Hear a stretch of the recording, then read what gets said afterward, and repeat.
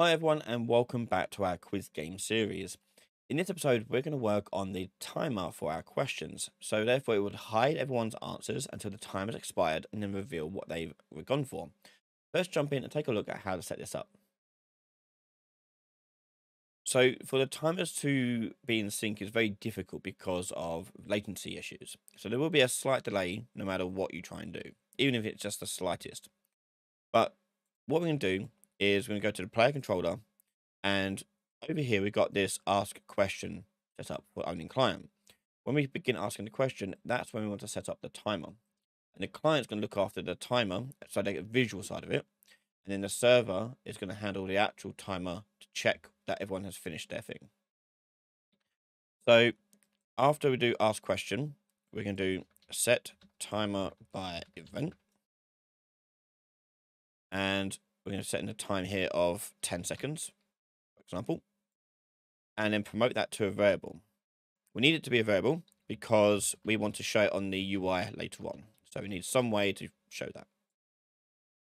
Next is the event it's going to call. So we're going to drag that out and do create event.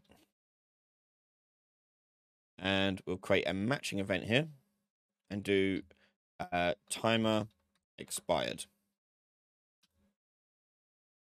And with this time expired here, we want to replicate it. So if I go over to replicates, I want to replicate this on the server.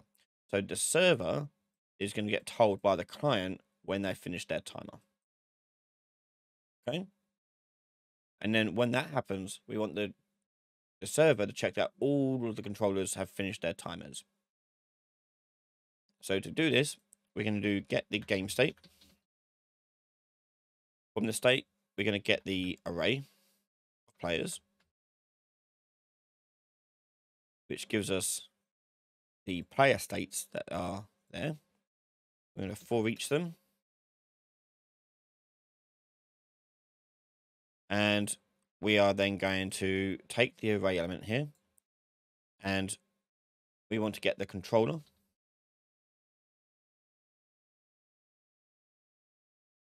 we're going to cast to our PC quiz.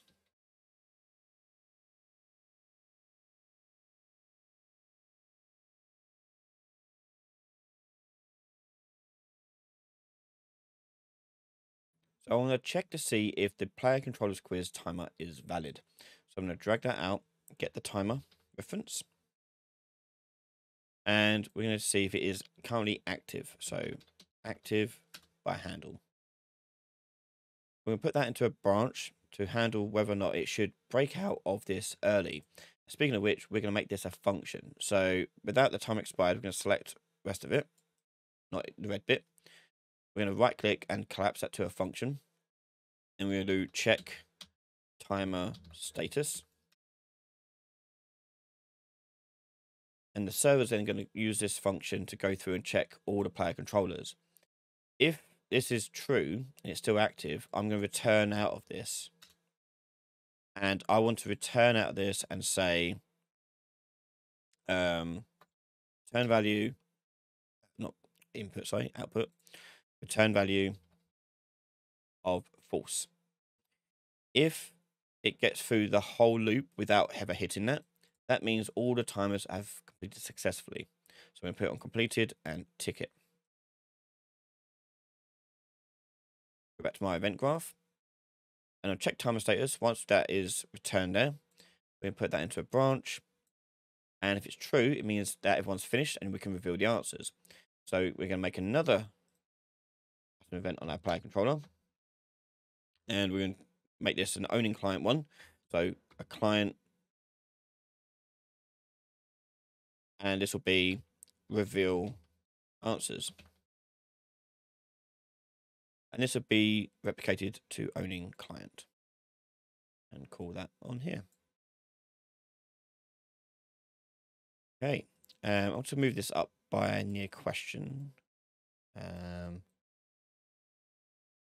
there you go. Okay, so when the timer expires, the server's going to check all of the controllers to see if they've all finished their timers. If they have, great. That means then the client will reveal the answers. When the client reveals answers, they need to access similarly what they've done in their HUD uh, here, we want to get hold of and uh, change the UI elements. So we're going to copy what we've done on uh, ask question and copy the get hard a HUD quiz. Put that on here. And then from our HUD quiz, let's go over to here. We want to make a function in here to reveal answers. Back to our player quiz, player controller quiz, and then do reveal answers. Okay, next, reveal answers. This is actually going to edit the HUD here. So let's go over to our UI, HUD. And we want the question screen. And in here, I just want to make it tie it to it so we can see like, hey, is it done? Yes. So what I'm going to do is on the graph is just do a binding to that. Uh, or not even a binding actually, just do a print string. Custom event, reveal answers. We'll just do a print string for now. Saying hello. So all that's left to do is go back to our HUD quiz and on reveal answers, we'll get our question screen and we'll do reveal answers. I'll save. Let's go ahead and test that out. So what we'll see after 10 seconds is the print string happening in the top left corner, indicating that the timer has completed. There we go. So you may notice that hello is only saying it for the client, and that's because the client was the last one to finish. But also we need to tell everyone that we're finished. So in this client reveal answers, we need to have in here the loop going round and telling all the controllers to uh, do this. So rather than doing only client, Let's change it to multicast. Like that. Okay, so now on the question screen, let's, rather than having the hello and no visible timer, let's add a timer bar to this. So I'm going to put it right above here. Uh, so let's go for bar. Put that in there. And we'll change the stylings of this somewhat. So let's go to style, background image, We'll give that a uh, rounded box thing here. We'll get some padding as well. There you go. Um, yeah, and we'll give it, uh, let's go for black. And the outline settings for this, we'll set to white to match what we've got over here. Width, we're going to go for five. Oh, I forgot to, uh, not five then, uh, one, two. We do two. Yeah, that'll do. So that's the background image. The fill image is slightly different. So that's filling up like so. As you can see, we don't want it to do this sort of square cut off bit. So I'm going to go draw as rounded box for that as well. And give it the outline settings that it needs. I'm going to go and change the width here to match what we got in the other one, and that'll push that forwards into the scene a little bit, into the uh, widget a little bit. Okay, and I may bring that in a 2.5 maybe. Yeah, there we go. We'll do that. So that timer will fill up the bar like so. So to make that link up now to the player controller, we're going to set that default back down to zero and go to the graph. And on the construct of this, where we're getting the game state and all that stuff, we need to get the player controller. So we're going to do get player controller. Cast to PC quiz. And from there, we want to get the timer. And we'll just promote it to variable just so we've got it and and then we need to update it all the time. So we can go to the tick event, get our timer,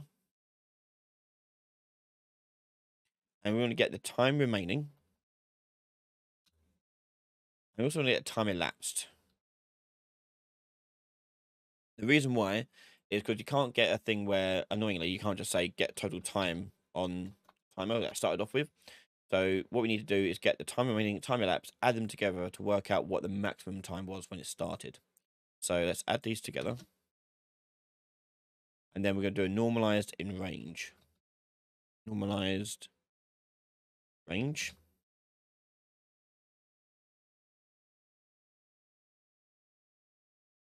Range. There you go. Uh, the range max will be our addition here, and the value is going to be our time remaining. So we can put that into the value there. And normalize the range here, we'll now squash it down to make it fit our bar. So we're going to do the question timer. Uh, no, did I not do it as a bar? No, okay, did I not make it? Yep, not variable. There we go. Usually helps. Bar timer. And then that there set percent.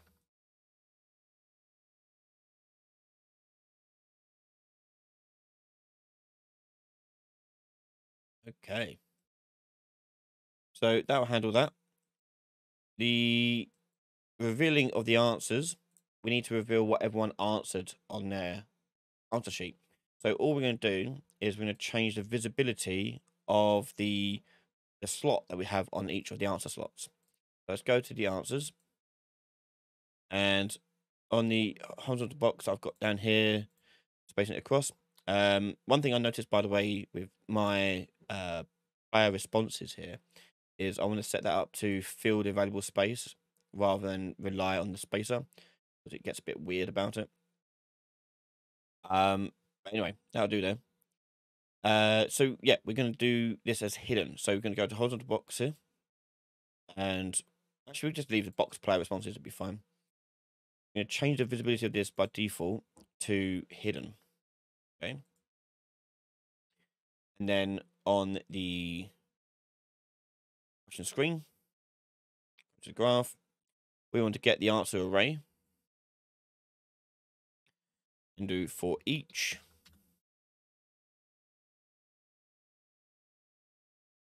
get the box player responses, set the visibility to not testable self and all children. So let's take a look at that in action now. I think that's all that we needed to do.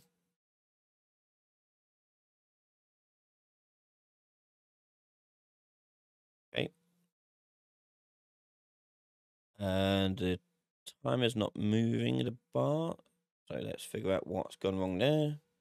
So the bar wasn't going down, and the reason why that's the case is because the player controller is asking the question first. So it does this ask question, and then it does the timer setup to make the question timer valid. However, the question timer then is not valid by the time we ask the question. So what we need is for this to happen before this.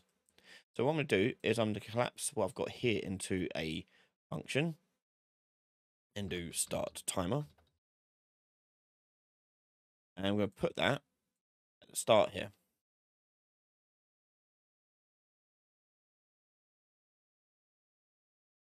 So that way the question timer variable is valid by the time the UI gets added to the screen. So, yep, that'll go for that there was one other thing I noticed too that I wanted to fix was the uh, reveal answers was wasn't happening for the server, and yeah, the issue for that is as you can see here on the get HUD. So get HUD is targeting the player controller of the self. Okay, so this player controller, we want to get the player's player controller, not the specific player controller. So with the target, you can drag out and do get player controller, and that will now handle it, ignoring the ownership of the player controller. It'll just do it to everyone. Okay, so that'll go through there. Um, I also wanted to fix. I saw. I wanted the time uh to um on reveal answers to hide the timer bar. So we'll get the bar timer and we'll set visibility of that complete here to. Okay, now test it out. So now we can answer our questions and we should see the answers reveal themselves. There you go. Excellent. There you go. We got there. We managed to add a timer to our question that is synced up, as well as then revealing the people's responses to the question. However, no one's getting into points yet. So what we're going to do is we're going to do a timer-based point system. So basically, the faster you answer the question, the more points you get. You can see that next episode right now over on patreon.com forward slash Ryan Laley, where you find all my videos early before anyone else from just $1 a month. A massive thank you to our patrons for supporting the channel. If you haven't yet subscribed, make sure you hit that subscribe button, and I'll see you all in the next one. Bye, everyone.